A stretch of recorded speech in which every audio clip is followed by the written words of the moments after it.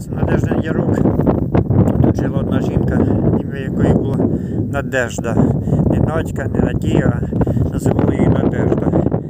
Чого так важко сказати, хоча один знайомий розказував, що вона чи її мати колись прийшла сюди з Петлюрівським обозом. Можливо, і не Петлюрівським, а Денікінським. Що навряд якби з Петлюрівським Надеждою, Надеждою її називали. Жила вона окремо, не дуже якось вона дружила з людьми. Відповідно, тут була грядочка невелика, і ми дітьми сюди добиралися по-пластунськи, бо в неї росла клубніка. А як не дивно, в ті часи це дуже рідкісний був плід. І якщо нам вдавалося, то залазили там грабували. Ну, от такі були тоді розваги.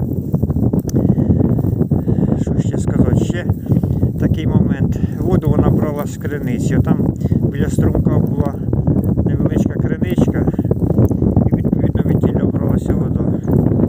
Тобто цивілізація була древньою, скажімо так. Світла не було.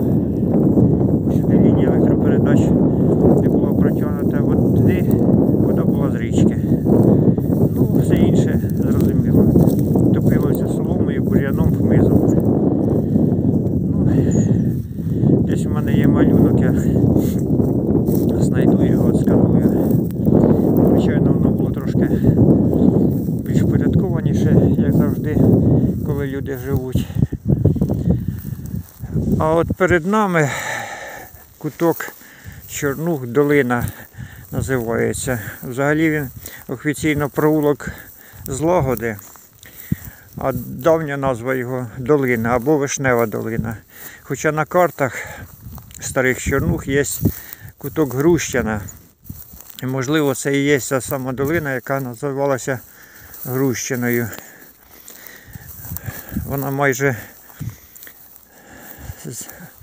з'єднана з вулицею Злагоди сучасною, але там якась сотня метрів є розрив і воно таке, як хутірець невеличкий. Прямо перед нами газопровід, який йде на село Харсік. Ну, от і все.